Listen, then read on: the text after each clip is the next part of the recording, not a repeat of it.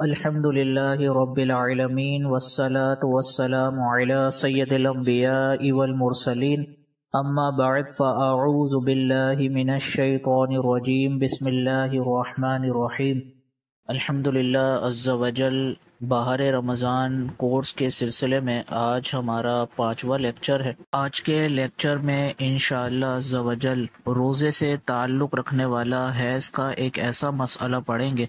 कि जिसकी वजह से हमारी बहनें कन्फ्यूज़न का शिकार होती हैं और कुछ खातन ऐसी भी हैं कि जो असफुद किताबों से पढ़ने की जब कोशिश करती हैं तो उनको ये मसला सही तरीके से समझ में नहीं आता। तो आज इन शवजल इस मसले को हम चार्ट की सूरत में पढ़ेंगे, ताकि इस मसले को समझने में हमारे लिए आसानी हो।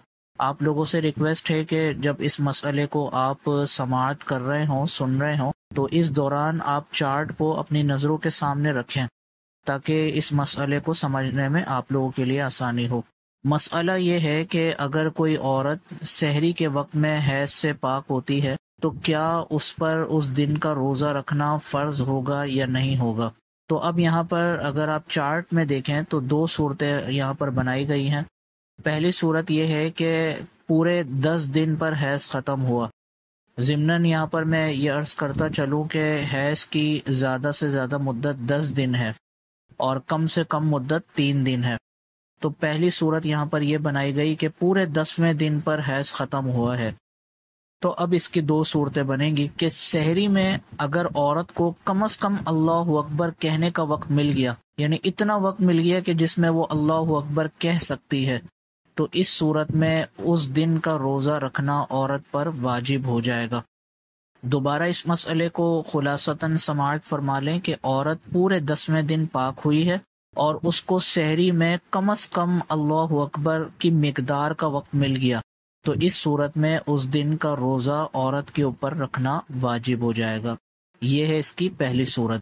इसकी दूसरी सूरत यह है कि पूरे दसवें दिन पर हैज़ ख़त्म हुआ, लेकिन शहरी में उसको अल्लाह अकबर की मकदार के बराबर वक्त नहीं मिला।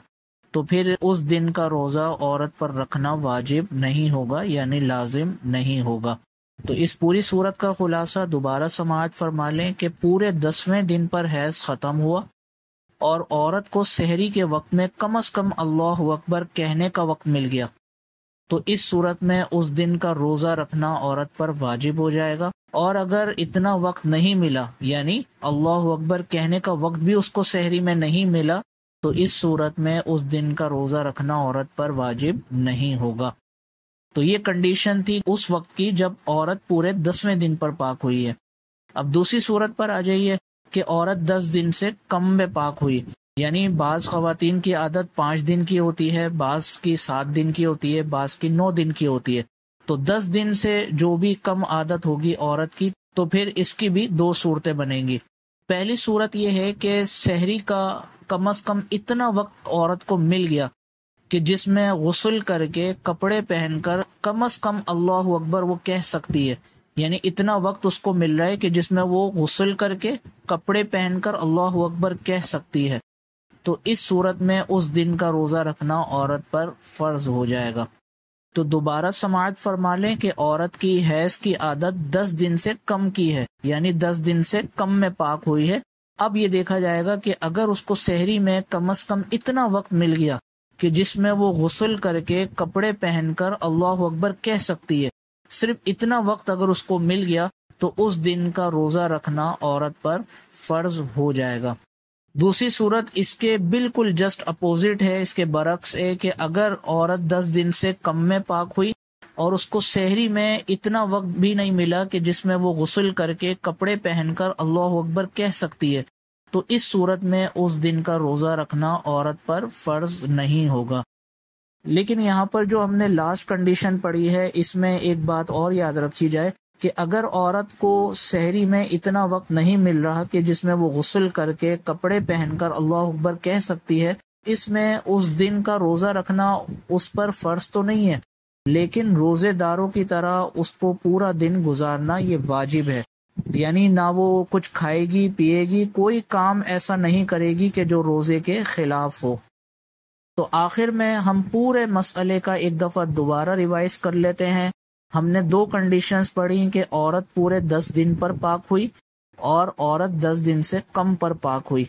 तो पहली जो सूरत है कि औरत पूरे दस दिन पर पाक हुई।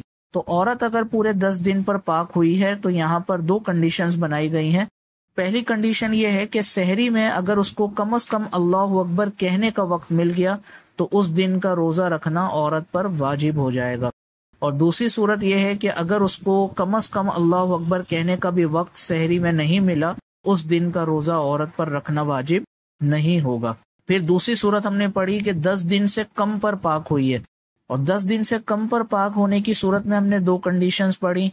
पहली कंडीशन में यह है कि अगर औरत को शहरी में कम अज कम इतना वक्त मिल गया कि जिसमें वो गुसल करके कपड़े पहनकर कम अज कम अल्लाह अकबर कह सकती है तो उस दिन का रोजा रखना औरत पर फ़र्ज़ होगा।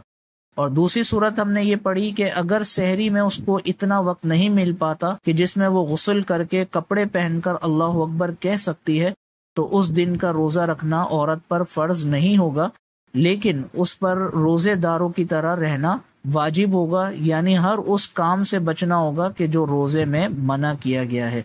इन दोनों सूरतों को मजीद आसान करने के लिए मैं मिसालों के ज़रिए आपको समझा देता हूँ। मिसाल के तौर पर अगर शहरी का वक्त चार बज के तीस मिनट पर ख़त्म हो रहा है और औरत पाक हुई है चार बज के पच्चीस मिनट पर, पूरे दस दिन पर वो पाक हुई है और चार बज के तीस मिनट पर शहरी का आखिरी वक्त है और चार बज के पच्चीस मिनट पर वो पाक हुई है तो अब पाँच मिनट के अंदर उसको अल्लाह अकबर कहने का वक्त बासानी मिल जाएगा तो उस दिन का रोजा रखना औरत पर लाजिम हो जाएगा। और दूसरी सूरत यह है कि चार बज के तीस मिनट शहरी का आखिरी वक्त है, लेकिन औरत चार बज के बत्तीस मिनट पर पाक हुई है। तो अब यहाँ पर उसके वो इतना वक्त मिला ही नहीं कि जिसमें वो कम अज कम अल्लाह अकबर कह सकती हो तो इस सूरत में उस दिन का रोजा रखना औरत पर वाजिब नहीं होगा। तो ये मिसाल थी उस सूरत की कि जिसमें औरत पूरे दसवें दिन पर पाक हुई। इसी तरह आप दूसरी सूरत पर आ जाएँ कि दूसरी सूरत में मिसाल ये बनेगी कि अगर चार बज के तीस मिनट शहरी का आखिरी वक्त है और औरत चार बज के पाँच मिनट पर पाक हुई है तो अब 25 मिनट के अंदर चूँकि औरत बसानी गसल करके कपड़े पहनकर अल्लाह अकबर कह सकती है, इसको बसानी इन तमाम चीज़ों का वक्त मिल रहा है तो इस सूरत में उस दिन का रोजा रखना औरत पर फ़र्ज़ हो जाएगा। और अगर बिल फ़र्ज़ शहरी का वक्त है चार बज के तीस मिनट, औरत चार बज के पच्चीस मिनट पर पाक हुई है तो अब पाँच मिनट में गसल, कपड़े और अल्लाह अकबर कहने का चूँकि वक्त नहीं मिलेगा तो इस सूरत में उस दिन का रोजा रखना औरत पर फ़र्ज़ नहीं होगा। लेकिन औरत पर रोजेदारों की तरह पूरा दिन गुजारना वाजिब होगा। तो उम्मीद है कि आपको ये मसला अच्छे तरीके से समझ में आ गया होगा।